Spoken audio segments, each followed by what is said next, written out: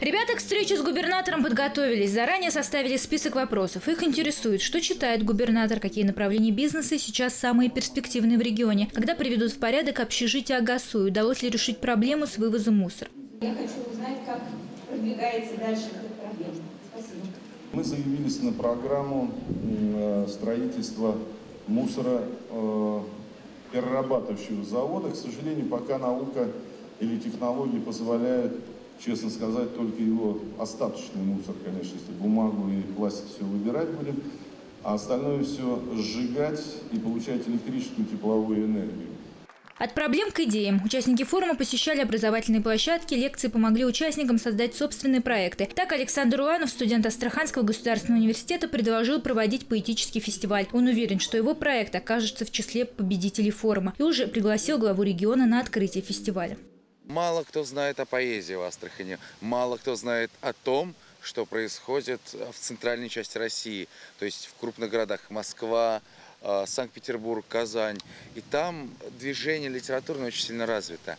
И мы предлагаем такую серию фестивалей, куда э, мы приглашаем э, московских, питерских, белорусских, казахстанских, казанских авторов, поэтов, которые сами интересные личности, на которых интересно смотреть, с которыми здорово разговаривать, которые могут что-то рассказать и могут что-то дать нам то, что мы можем узнать.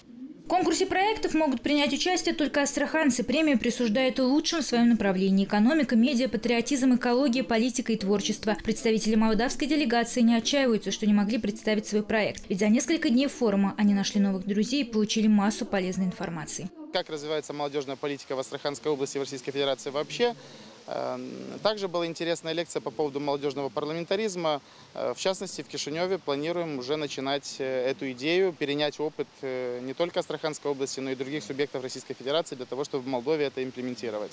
Участники приехали из разных регионов России – Крыма, Краснодара, Москвы, Санкт-Петербурга, Татарстана и Дагестана, из Донецкой и Луганской народных республик, Казахстана и Молдовы. Особый гость на этом фестивале – представитель Ирана. Губернатору участники форума успели задать более 20 вопросов. Мне очень понравилось очень грамотные, свободные, креативные такие ребята и девчонки, которые переживают за свою страну, за свои страны, потому что здесь 9 стран э, понимают, что нужно общаться, э, дружить, формировать себя, а мы только делаем одну площадку, создаем условия для того, чтобы они развивались.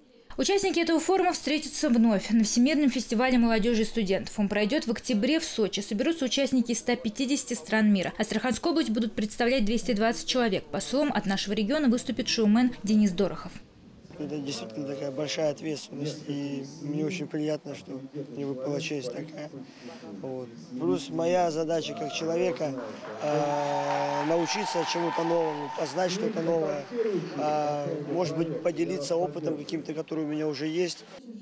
Завтра закрытие форума станут известны имена победителей. Авторы пяти лучших проектов получат гранты от Роса молодежи. Автонаврумбаева, Андрей Разумный, Центр новостей.